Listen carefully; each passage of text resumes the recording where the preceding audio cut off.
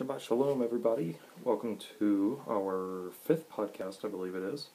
Um, if you read this week's blog, uh, you know that this week I'm talking to you about the uh, Melchizedek.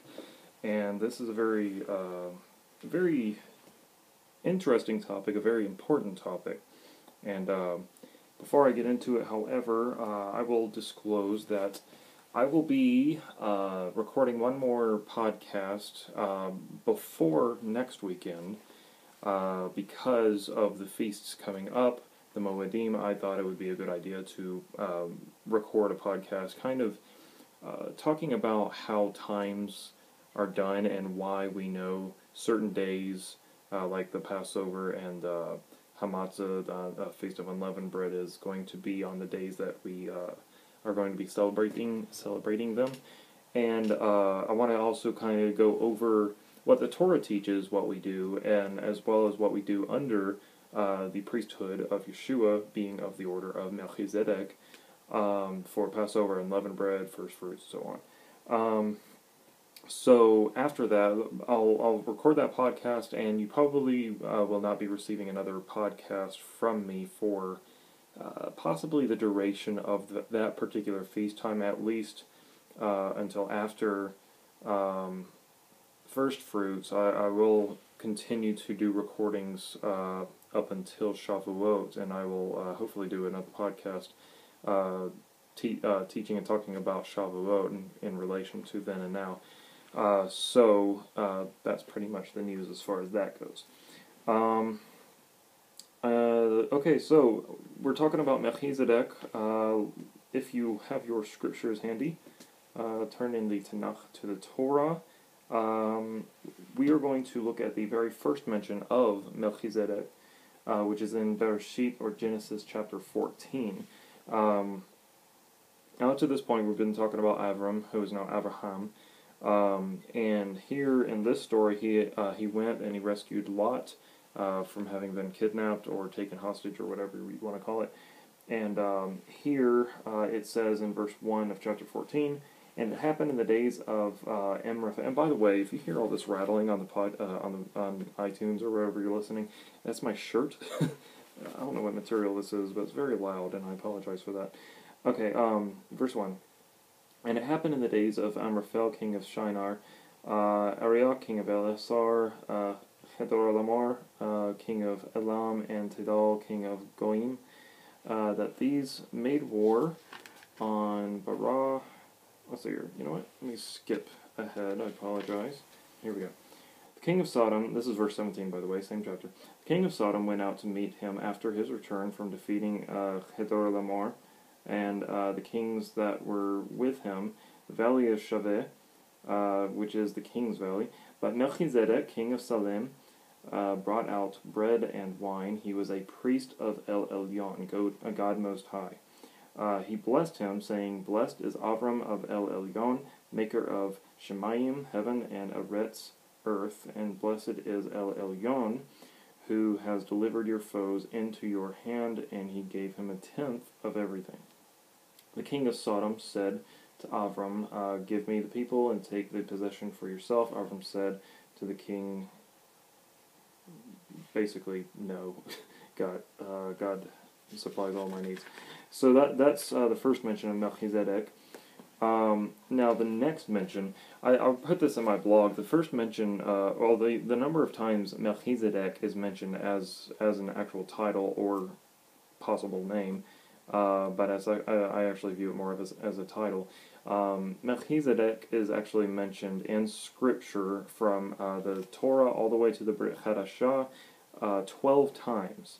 Uh, you can find that in uh, Bereshit 14, uh, Tehillim, or Psalm 110 and verse 4, and then again uh, for the last time in Ivrit or Hebrews um, chapters 5 through 7 and uh, it goes into more detail as to how it relates to Yeshua, and we will be getting into that in a moment. Now, um, this is a very mysterious character that you find in Torah. Uh, the Melchizedek, king of Salem. Now, Melchizedek in Hebrew is made up of two words, Molech and Zedek. Uh, Molech is king, and Zedek is uh, like you know moral rightness or righteousness. So he's the king of righteousness, but he's also the king of Salem, which uh, is said to be an earlier version of, uh, or earlier name of Jerusalem or uh, Jerusalem. Um, Salem basically means the same thing as Shalom. It's wholeness, peaceable, uh, completeness. Uh, so he is Melchizedek, king of righteousness, king of Salem, king of peace, or king of uh, Shalom. So, but it doesn't give an actual name. Melchizedek is actually a, a title, a, a king of righteousness. Um, and there's a video actually, I'm, I'm hoping to actually embed into my blog, so hopefully you can go there and uh, check it out. It's great, great teaching. Uh, I believe it's called the Melchizedek Connection. Uh, it, it, was not from Jim Staley, but it's from another uh, speaker who was there at Passion for Truth Ministries. And uh, he, he gives a great uh, amount of detail. I remember listening to him uh, last year when the teaching first came out, and it was really good. Um, uh, and I was uh, really just in, in, immersed in what he was saying. So I'm going to put that up on my blog. Be looking out for that. Um, by before this is uploaded, I can't think of what I was going to say.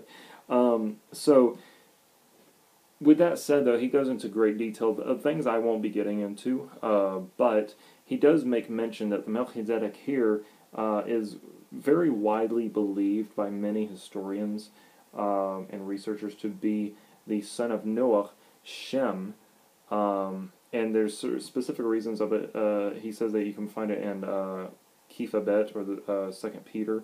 Uh, he talks about the eighth uh, righteous person or something to that effect being Noah, and so it, it's like there's this order, and uh, that's made mention this order of the priesthood of Melchizedek which I will get into now um, uh, in Tehillim or Psalms 110. Now, I am going to be reading from a uh, Masoretic text, um, and there is a reason for that I will mention in a moment.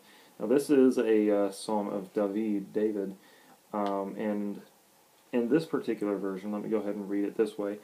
Uh, verse 1 The Lord said unto my Lord. Now, you've probably heard that term a lot. Um, and it makes no sense. the Lord said to my Lord, right?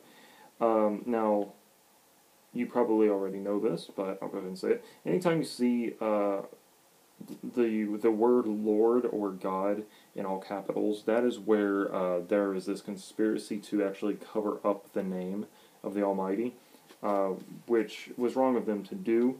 They did it what seems like noble cause, you know, to respect the name not to be taken in vain and so on. But you're actually supposed to say his name, um, but in proper context. You know, I uh, I usually like to actually just say you know the Almighty or the Father. Excuse me, and um, you know uh, sometimes I will say Yah, the poetic short form of his name. Uh, my particular preference, as you probably have picked up uh, over the past few podcasts, or if you've been following me on YouTube for the past few years, uh, I've, uh, through my research, come to the conclude uh, of the use of the name Yehovah. Something I'll probably get into another time, uh, unless you want to go to my YouTube channel, Mihaal86, on youtube.com forward slash Mihaal86. I spelled it wrong, actually, when I first put up, uh, the channel up. It's M-I-H-A-A-L 86.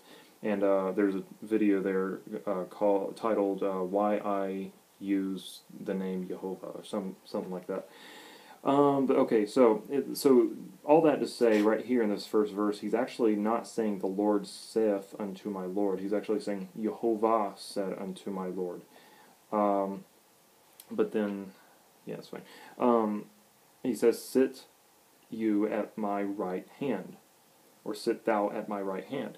So those of us, those of us who are followers of Yeshua know that uh, the Mashiach, the Messiah, Yeshua, is the one who sits at the right hand, the right hand of authority of Jehovah, of, of the throne. So he says, Jehovah said unto my Lord, Sit at my right hand, until I make your enemies your footstool. The rod of your strength, uh, Jehovah will send out of Zion, or Zion.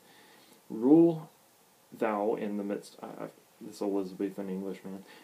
Rule thou in the midst of thine enemies. Thy people offer themselves willingly in the day of thy warfare in uh, adornment, ad- adornments. Sorry, I'm not I'm not good at talking today. I'm very sleepy, and I know it's the Shabbat and everything, so it's kind of normal. Okay, and adornments of holiness. From the womb of the dawn, thine is the dew, D E W, of thy youth. Jehovah hath sworn and will not repent. Thou art a Cohen forever, a priest, after the manner or the order of Melchizedek. The Lord at thy right hand. Now, here is one of the main reasons I wanted to read this particular text, as well as the fact that it was easier to just pick one up instead of just, you know, flipping to it. um, it says, The Lord at your right hand. Uh, now, agreed, it is the Lord at the right hand. In the Hebrew, uh, Hebraic Roots Bible, if you look at that verse, which is verse 5, now in the Masoretic text it says, The Lord at thy right hand doth crush kings in the day of his wrath.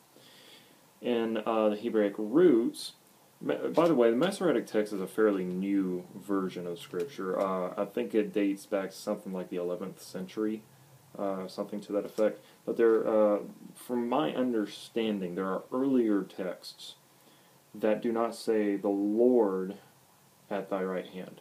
And this is why I bring up um, Hebraic Roots Bible, which they don't use Jehovah, they use the term Yahweh, but uh, that's fine. It says, Yahweh at your right hand shatters kings in the day of his anger.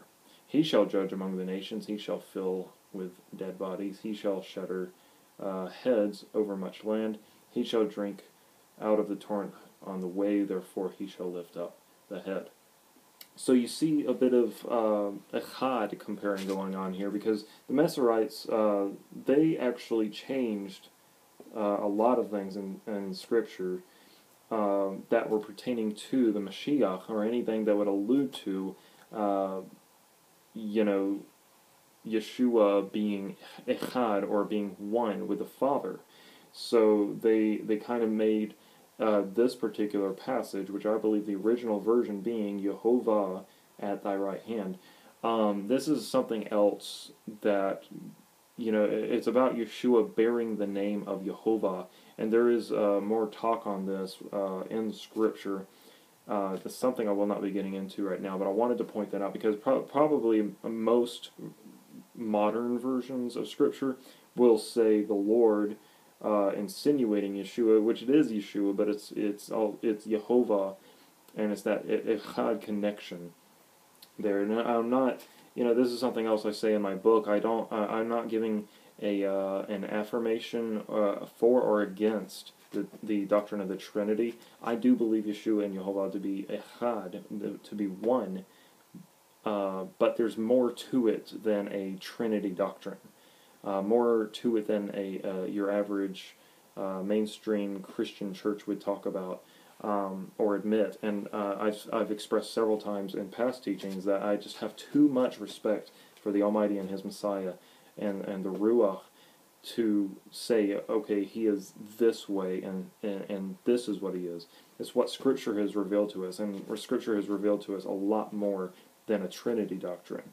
The the the being echad in Yehovah is so much more deeper. Uh, and it's something I do hope to get into more later. Um, but you know, there uh, I actually have a whole hour of teaching on YouTube about this particular topic. But I wanted to point that out to you, just so just to kind of get you possibly to see there's more to it than that, and hopefully it'll spur you to also look into it more. But uh, let, getting back to the topic of Melchizedek, here you have, um, you know, I'm not going to read this version anymore. um, I'm going to look at uh, what this says uh, back at verse 4. Jehovah has sworn and will not repent. You are a Cohen forever according to the order of Melchizedek. So it's this oath that he says. Uh, he has sworn this, and he will not repent of this oath. You are a Cohen forever. Cohen uh, being the Hebrew word for priest. Forever according to the order of Melchizedek. Now, this is the second time in Scripture that Melchizedek is mentioned, and now it's it, it's kind of opening up more to us who are reading this passage. Uh, you know, about 5,000, 6,000 years removed from the original text. Uh, well, in the in the case of the Psalms, more about 3,000. But um, he he's saying now there is an order of Melchizedek. So you have this priesthood order, this priestly order, um, and he also goes on to say, uh, uh, Jehovah at your right hand shatters kings in the day of his anger. Uh, and he shall judge among the nations. Now, if you look back in uh, Bereshit 14, you see something very interesting.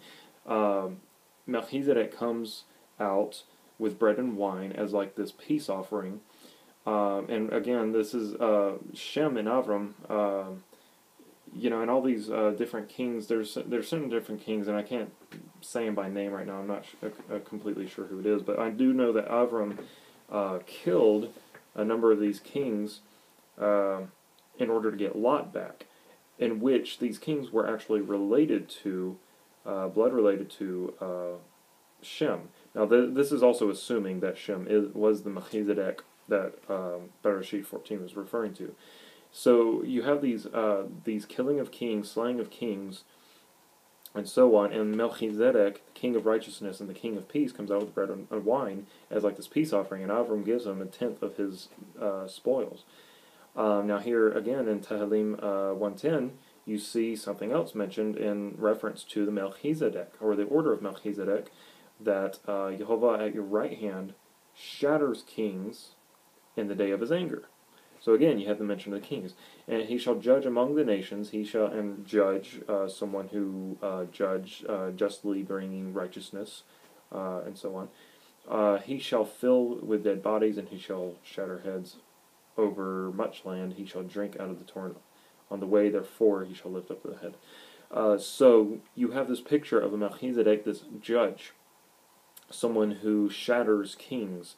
Um, and and it, basically someone who basically lays down the law, um, and and so now that brings us to Ivrit or Hebrews. Now I made mention of this in the in the Tanakh. Uh, Melchizedek is actually mentioned, I think, twice, and that's it.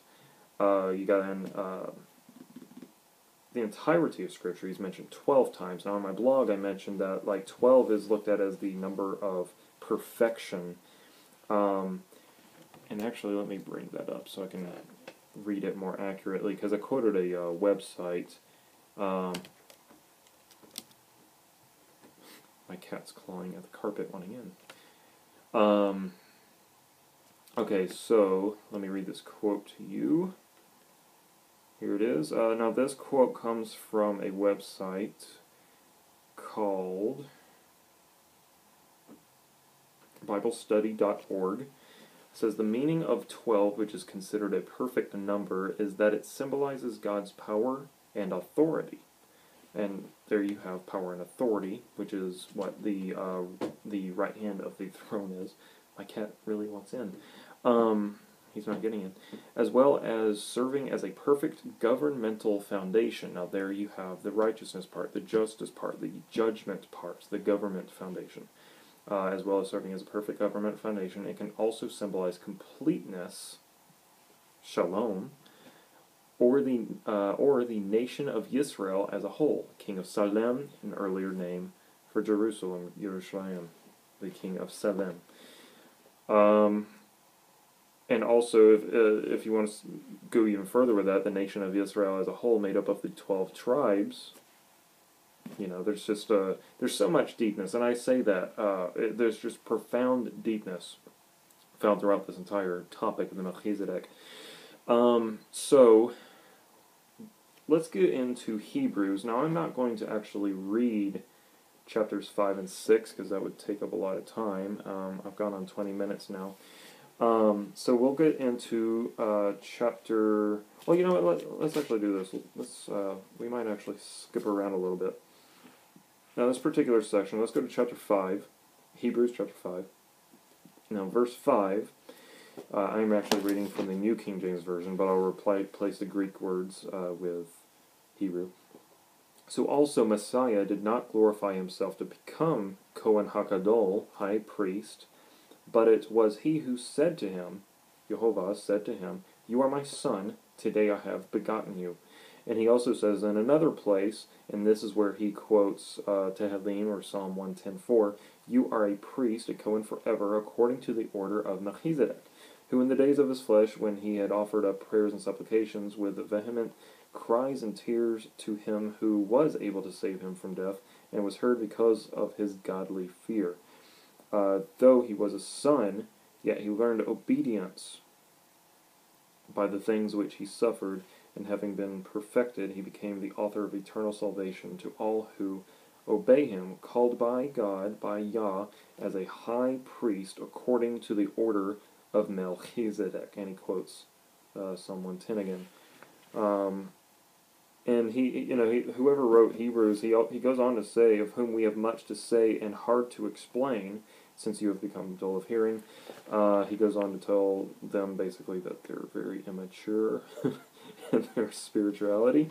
Um, but we'll skip over that part. Um, basically, the series saying that you need to progress more. Um, okay, so now we're at chapter 7. Uh, verse 1 For this Melchizedek, king of Salem, priest or Cohen of the Most High God, El Elyon, so he's clearly got on his mind at this point, he, he has on his mind whoever the author of Hebrews was, uh, he's thinking about the particular point in which uh, Melchizedek and Avram met up back in Bereshit 14. Uh, he he makes mention of Abraham. Actually, if you look at the verse above, uh, in look at chapter six nineteen, says, "This hope we have as an anchor of the soul, both sure and steadfast, uh, steadfast, in which enters the presence behind the evil, um, where the forerunner has entered for us, even Yeshua." having become Cohen Hagadol forever according to the order of Melchizedek. Um, I thought I saw Abraham's name. I was reading in the wrong place. I'm all over the place, as you can tell right now. Uh, again, very sleepy. Um, now, for those of you watching on YouTube, this uh, my iPad shut off, so I had to bring on my iPhone. I don't know how much space I have on it though, but I'll try. Um, Oh, you know what? If I had kept just reading, I would have talked about what I was meaning to talk about. That's funny. Okay, so, verse 1, chapter 7. For this Melchizedek, king of Salem, priest of the Most High God, who met Abraham returning from the slaughter of the kings and blessed him. So again, he, he even makes mention of the Melchizedek and the kings. Again, you have the same uh, order of things going on here.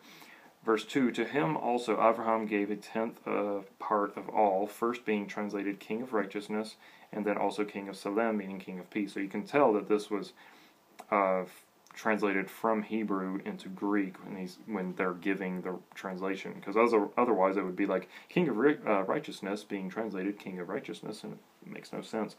Um, verse 3 Without father, without mother, without genealogy, having neither beginning of days nor end of life but made like the Son of God, remains a priest continually. That's interesting, and he goes on to explain himself, which I will let the author do now.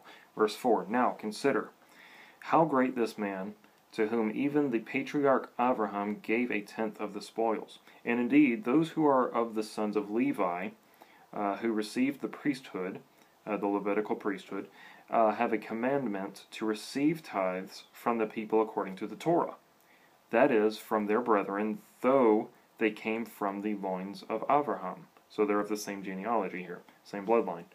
But he whose genealogy is, de- is not derived from them received tithes from Abraham, and blessed him who had the promises.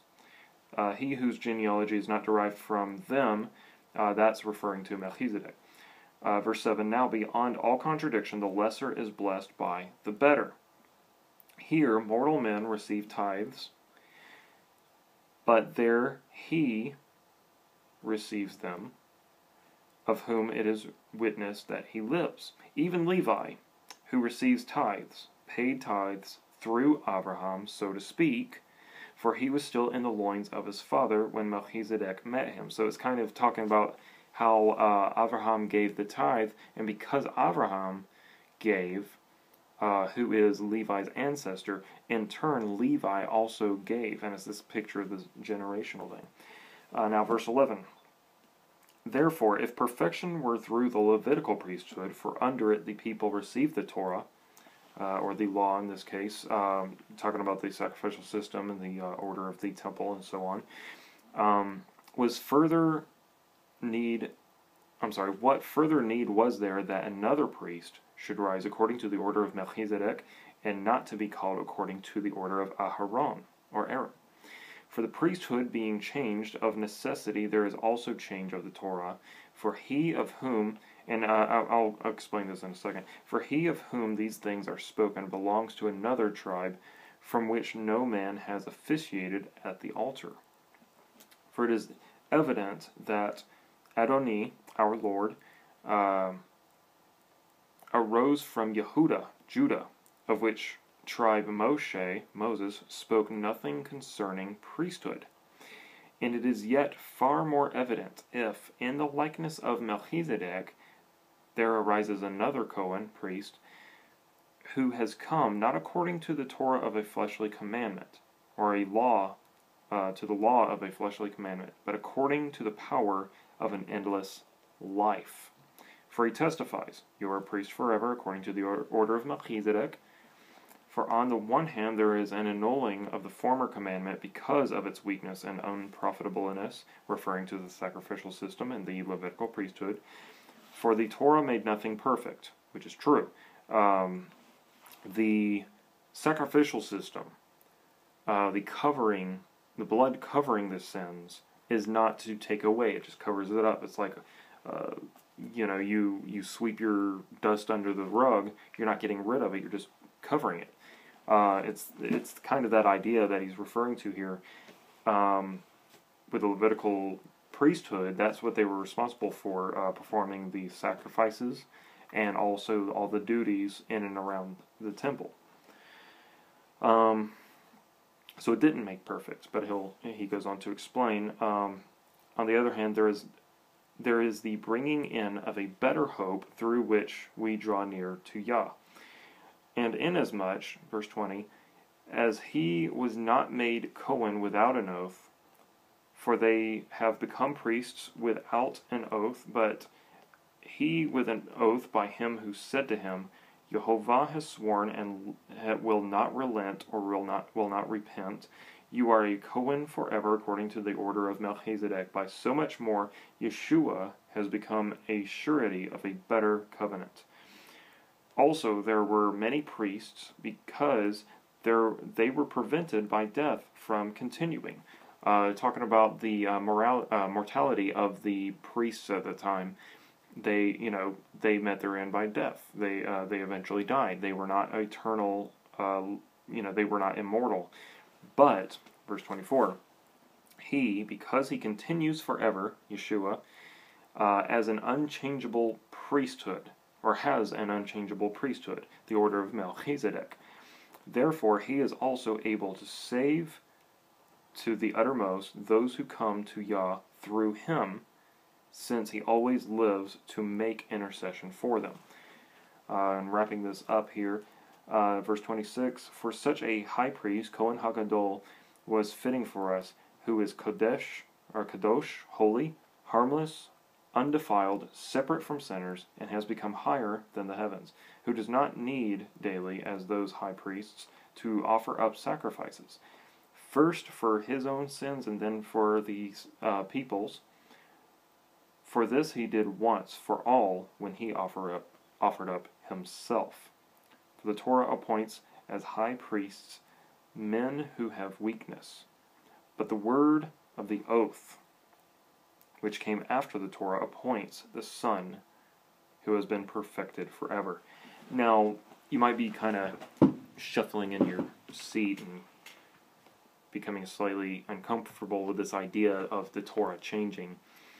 And in all fairness, first of all, the Torah, as far as the Levitical priesthood is concerned, requires a temple. We have no temple. Other than that which is in heaven, as well as our bodies, which is the temple of the Ruach Kodesh, the uh, uh, Holy Spirit. Um, likewise, also, Yeshua offering up himself as a sacrifice to atone uh, and to cleanse us, to um, take away sin,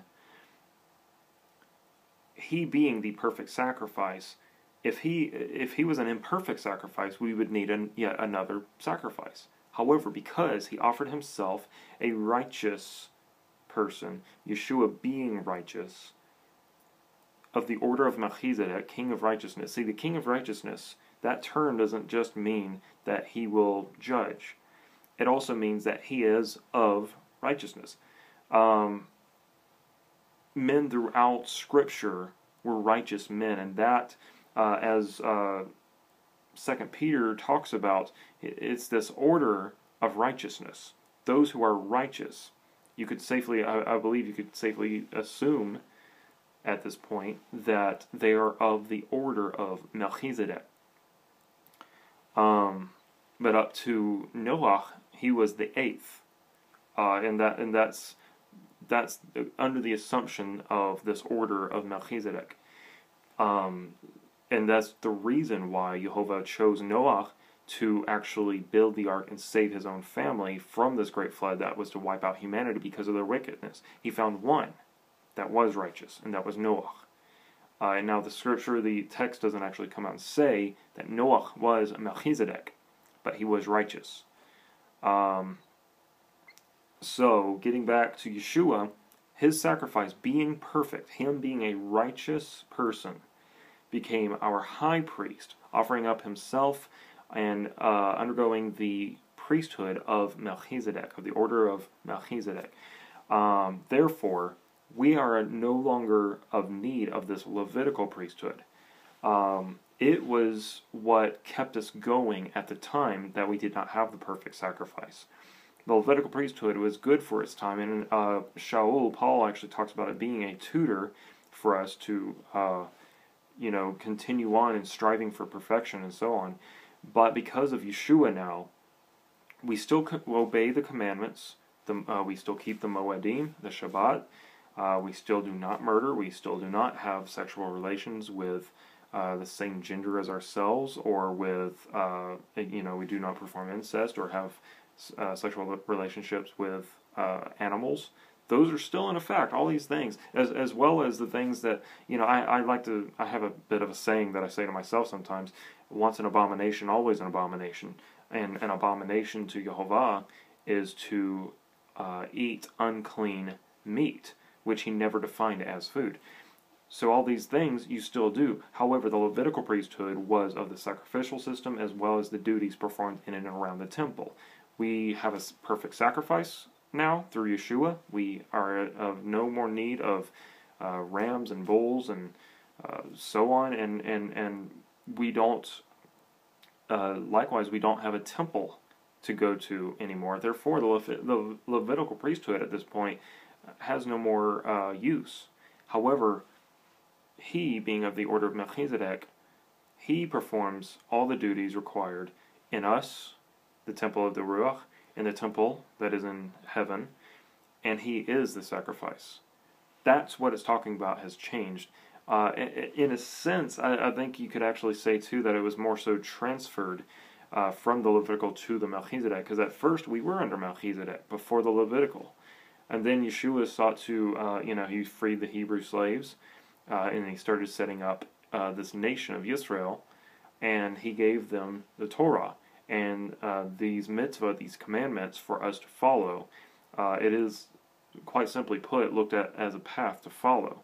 And now that path is no longer under the priesthood of Le- uh, the Levitical priesthood, it's under the order of Melchizedek priesthood and it's just there's so much more to it than I can share with you now. I've already gone over what I consider my limit, uh, but I hope this inspires you to look into Yeshua as the Melchizedek and to seek out what it that means. Melchizedek, king of righteousness.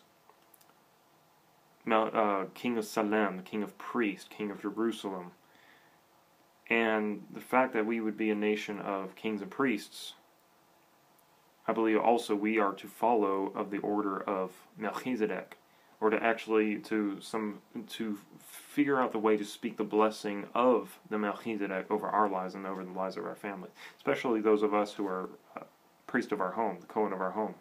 if we are the Cohen of our home, then we should be of the order of Melchizedek as well. And that again is just following in the footsteps of our Messiah Yeshua. Um, who obeyed the Torah. so I'm going to wrap it up here, and uh, hopefully I'll get. Re- I, will uh, try my best to get that recording, uh, that teaching recorded uh, next week uh, in reference to the Moedim, uh, talking about the times and what dates to be looking for and so on. Um, you know, I, I have a contact me section on my website. If you have any questions, comments, concerns, whatever else, you can click on contact me and I, I, will get that. Um, you can also, if you would like to donate um, to my cause, which is explaining Torah to uh, believers as well as uh, teaching uh, others about Yeshua um, and the truth of an existing and eternal uh, Elohim, then please, you know, do so. Um, but also get my book. Uh, not only do I believe that would be a blessing to you, but you can also hand that off to others uh, to be a blessing to them, and in turn, that also blesses me as a, in a sense as a donation. So at least in that way, you get something out of it uh, if you choose to donate in that way.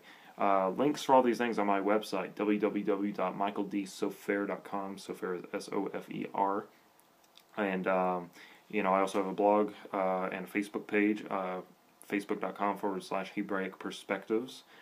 And um, I'm on YouTube, youtube.com forward slash uh, Mihaal86, which I mentioned earlier. Uh, and I'm also on Twitter under that same name. So, with all that said, uh, I apologize for all the kind of back and forths and long, awkward pauses, and also my camera cutting out, uh, which has not happened. I have no idea why that happened. But um, I hope this has been a blessing to you, and uh, please test everything. Uh, just because I say it and you trust me, uh, don't, because I'm, I'm I'm just as um, imperfect as anybody else, and I can make mistakes, uh, scripturally speaking as well. Uh, so please test everything, and uh, if you have a concern as to a certain point that y- you don't think lines up with what Scripture teaches. Um, you know, let me know. And, you know, because that, that's how I got to this point. Someone challenged me on the Sabbath, and um, here I am keeping the Sabbath. uh, thanks to my friend for that. But, um, okay, I'm shutting it down. Thank you very much. Todah Rabbah and hallelujah. Be blessed. And uh, shalom to you.